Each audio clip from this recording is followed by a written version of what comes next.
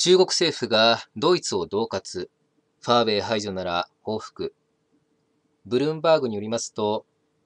中国の大使がドイツにて次のような主張をしたことが明らかになりました。ドイツ市場からファーウェイ除外につながる決定をドイツ政府が下した場合、重大な結果を招くことになる。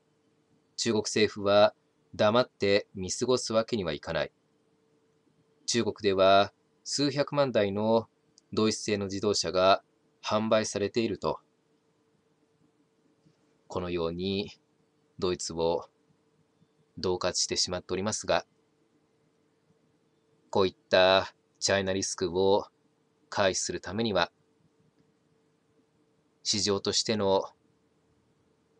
中国、この中国がいつなくなってもいいように、企業は対策を取るしかありません。このような恫喝は今後もドイツだけではなくて、その他の国々にも行われるものと思われますので、日本政府にはこういった中国政府のリスク、中国のリスク、チャイナリスクを日本企業の皆様にしっかりと説明し、対策を要求していただくようにお願いいたします。以上になります。ご清聴いただきありがとうございました。